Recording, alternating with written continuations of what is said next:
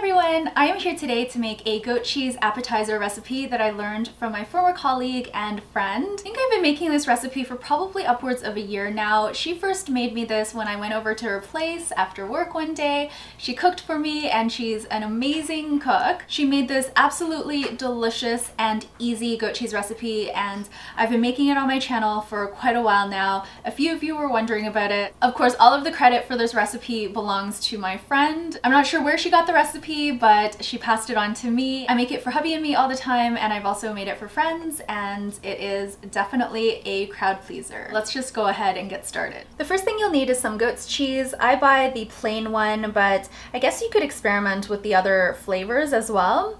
This is a large log, so I basically cut it in half and I can make this recipe twice with the large log, or if you want to buy one of the smaller logs, you can do that and use the entire thing. This is about 150 grams of goat cheese. The next thing you'll need is an onion. You can use pretty much any kind of onion, you just want to stay away from the sweet one. When my friend originally made me this recipe, she used red onion, but you can also use white onion. This is a huge one, so you'll probably only want to use half. Typically though, I just use these bagged onions because I have them on hand. So I'm just gonna go ahead and use one of these onions from the bag. This onion is around 175 grams, but once I cut off the ends and peel off the outer layers, I'll probably have around 150 grams of sliced onion. Next, you'll need some cherry or grape tomatoes. My friend made me this recipe using cherry tomatoes, but I've used grape tomatoes with a lot of success as well. I just buy whatever happens to be on sale. You can use the small pints of cherry or grape tomatoes. That's enough for this recipe, but I've been trying to put more vegetable into our dishes, so I'm going to be using half of this big container. Anywhere between 250 grams to 450 grams of cherry or grape tomatoes would be good for this recipe. This recipe calls for the use of some balsamic reduction.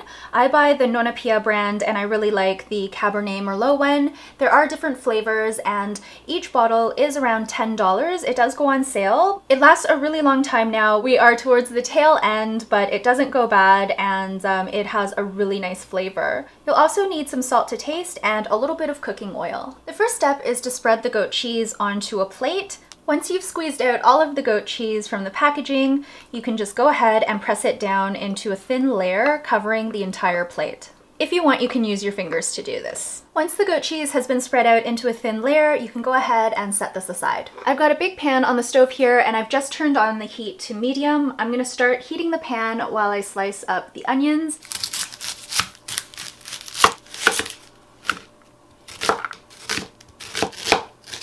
I'm gonna add the cooking oil to the pan spread it around a little bit and add all of the sliced onion.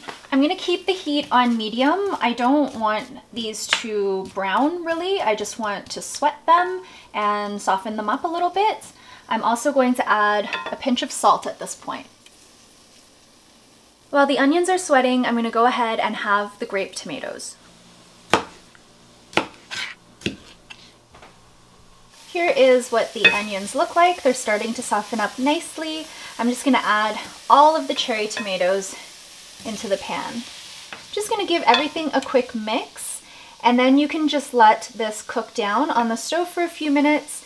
You want the tomatoes to be softened, but you don't want them to really lose their shape all that much. So I'm just gonna keep an eye on it and then we'll be ready to plate everything.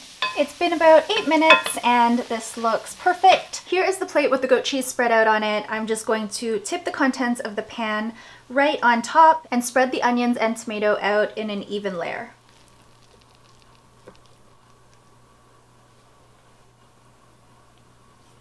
Once that's all done, we're gonna go ahead and drizzle on some of the balsamic glaze.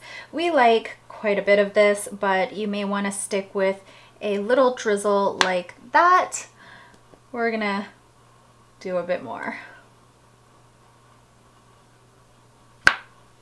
Here is the finished goat cheese appetizer. We typically serve this with some artisan crisps. This is the PC brand, but we've also had the Ace Bakery ones and also the Raincoast ones. Tonight we're gonna be eating this with leftover baguettes because we have that from fondue last night, but this is typically our um, go-to combination. In terms of the PC crisps, this is our favorite flavor. This is the apricot and rosemary.